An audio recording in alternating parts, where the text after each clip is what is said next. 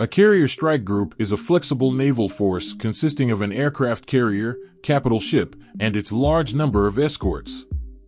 Together defining the group that can operate in confined waters or in the open ocean during day and night and all weather conditions. The principal role of the carrier and its air wing within the carrier strike group is to provide the primary offensive firepower, while the other ships provide defense and support. Carrier battle groups must be constantly vigilant against attack from the air, the sea, and from underwater. The goal is to create a sealed bubble around the carrier, with nothing able to enter the bubble without approval. The modern carrier battle group forms a potent power projection platform, but no two carrier battle groups are the same. In this video, you will learn about these powerful naval fleet formations and see why they have become so important. Now, without further ado, let's dive in.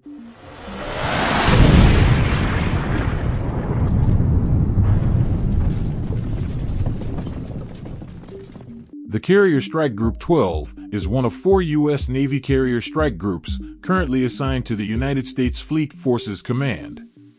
The USS Gerald R. Ford is the aircraft carrier assigned as the strike group's flagship, including the Carrier Air Wing 8.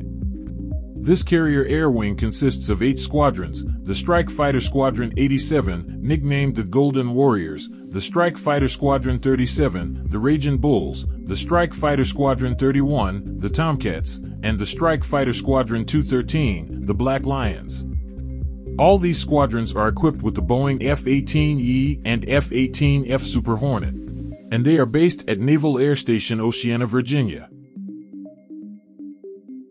Airborne Command and Control Squadron 124, based at Norfolk Naval Air Station, Virginia, nicknamed Bear Aces, flying the Northrop Grumman E-2D Hawkeye.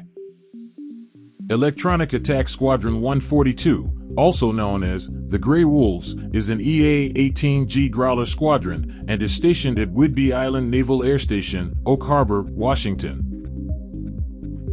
The Fleet Logistics Support Squadron 40, also known as the Rawhides, is a fleet logistics support squadron based at Norfolk Naval Station and operates the Grumman C-2A Greyhound.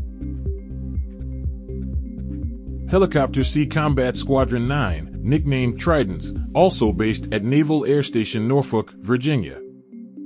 This helicopter squadron is equipped with the Sikorsky MH-60S Seahawk.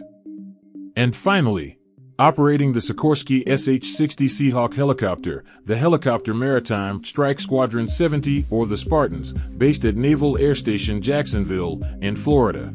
These are all the squadrons that compose the Carrier Air Wing 8. Carrier battle groups are formed on an as needed basis, and escort ships are assigned to the group based on the mission. However, the Carrier Battle Group 12 consists of the following ships the USS Vicksburg and USS Normandy of the Ticonderoga class guided missile cruisers. They are based in Norfolk Naval Station, Virginia. Widely known as the Aegis Cruiser due to its technologically advanced Aegis combat management system, the Ticonderoga class guided missile cruiser is perhaps the most recognizable surface combat ship in the U.S. Navy inventory. The Ticonderoga class ships are multi mission air warfare, undersea warfare, naval surface fire support, and surface warfare. These are offensive ships loaded with cruise missiles to strike land targets, equipped with Tomahawk cruise missiles, giving them additional long-range strike warfare capability. Assigned to this carrier strike group is the Destroyer Squadron 2, or DESRON 2. Currently homeported in Norfolk Naval Station, Virginia, this squadron is comprised of six guided missile destroyers of Arleigh Burke are equipped with an Aegis combat system which integrates the ship's sensors and weapon systems to engage anti-ship missile threats. The ships are armed with 56 Raytheon Tomahawk cruise missiles, with a combination of land attack missiles and anti-ship missiles with inertial guidance. The standard SM-2 Mr. Block 4 surface-to-air missiles with command inertial guidance remain at the center of the Aegis system. With upgrades to the AN-SPY-1 phased radar systems and their associated missile payloads as part of the Aegis ballistic missile defense system, these ships are extremely capable as mobile anti-ballistic missile and anti-satellite weaponry platforms. To date, 37 modernizations have been completed or are in progress, and an additional 17 modernizations are planned through the Future Years Defense Program. The Carrier Strike Group 12 also includes fleet logistics ships like the USNS Robert E. Peary and USNS Joshua Humphreys. The USNS Robert E. Peary is a Lewis and Clark class, a dry cargo and ammunition ship, and is part of U.S. Naval Fleet Auxiliary Force currently allocated to the Carrier Strike Group 12. This ship, which is not armed and is classified as non-combatant ship, is capable of operating independently for extended periods at sea while providing underway replenishment services and contribute to the Carrier Strike Force ability to maintain a forward presence. It provides underway replenishment services with logistic lift from sources of supply in port or at sea, and the transfer of cargo including ammunition, food, fuel, spares, potable water, expendable supplies, and material to the carrier Battle Group 12 at sea. The USNS Joshua Humphreys is a Henry J. Kaiser class fleet replenishment oilers in service with the Military Sealift Command of the U.S. Navy currently allocated to the Carrier Strike Group 12, where performs underway replenishment of warships and aircraft aboard the USS Gerald R. Ford. Its double hull form protects the cargo tanks from damage and complies with the regulations of the Oil Pollution Act of 1990. Either side of the ship features stations for underway replenishment of fuel and stores. The ship has five fueling stations, of which two are located on the starboard side and three on port side. The fueling stations are capable of refilling two vessels at once and can pump up to 900,000 gallons of diesel and 540,000 gallons of jet fuel an hour.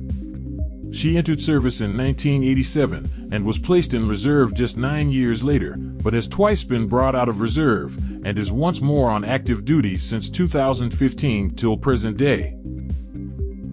And finally, the flagship and the most important unit of the Carrier Strike Group 12, the aircraft carrier, USS Gerald R. Ford.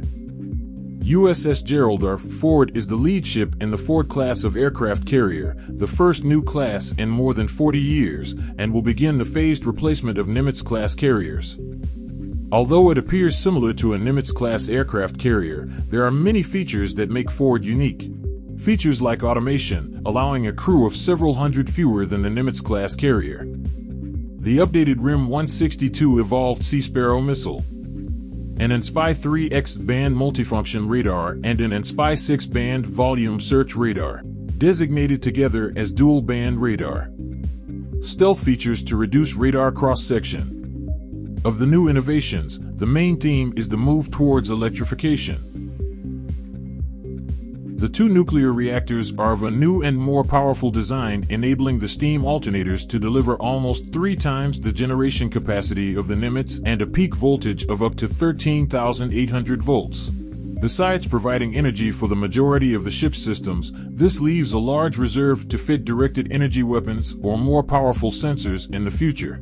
The most high-profile innovation is the adoption of the electromagnetic aircraft launch system, replacing the steam-powered catapults pioneered by the Royal Navy in the 1950s. The main advantage of this system is reduced wear on the aircraft as launch power can be finely calculated. The advanced arresting gear developed for the Ford class allows the recovery of a greater range of aircraft and also reduces stress loadings on the airframe.